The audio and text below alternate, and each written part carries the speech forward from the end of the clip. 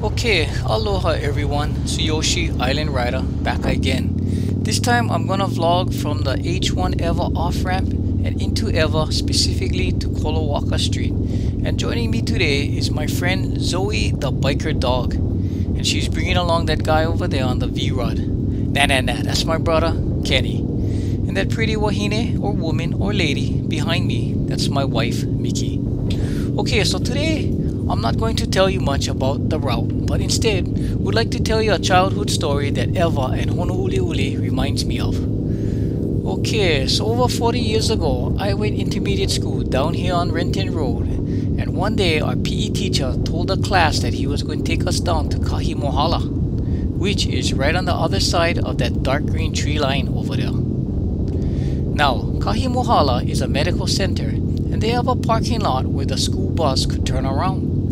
So our teacher told us he would drop us off and we had to run back to school and that our grade was going to be based on our run time. but what the teacher did not tell us until me and my friend Byron was sitting at the back of the bus was that our time would start as soon as he opened that front door. So me and Byron was like, oh brah, this is not going to be good. All the L7s, you remember that term? The L7s was sitting in the front and they would be getting off the bus before us, get one head start on us, and they would get better grades than us. So when the bus went turn around and stop, everybody went rush the door. But not Byron. He was so kolohe. He or rascal. He went to the back, opened the emergency door, and he jumped out. I went turn around and saw that, so I was like, ooh, I can jump out too. But the teacher went yell, Hey, everybody, sit down. I'm just turning the bus around. And he started heading back towards the school.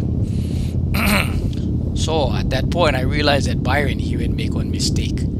So just as the bus started to accelerate, I yelled to Byron, Hey, get back on the bus. And let me tell you, he went run full blast and went catch up to us.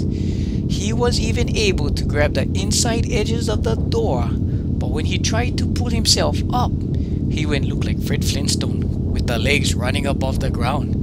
Then, oh my gosh, he couldn't hang on and he went eat it. He fell head over heels like he was on stuntman, tumbling on the ground behind the bus. I went freak out. I thought he was gonna mock it or die, but that bugger went jump to his feet and went put his finger to his lip, shushing us and signaling to us not to say anything. So we never. And when the bus stopped, everyone ran towards the school, but my friends and I, we ran back to check on Byron. And oh my goodness, poor Byron. He had all kind kakios or abrasions on his body. He had them on his knees, on his elbows, on his hands and knuckles, and even had one on his head. Oh, look, Plumeria over there. Okay, but that bugger, he was so tough. He just brushed himself off, and we all ran back to the school with him. And guess what? He went beat us. Me, nah. I don't know whatever happened to Byron, but every time I come here, I think of that guy. Man, he was one tough Filipino.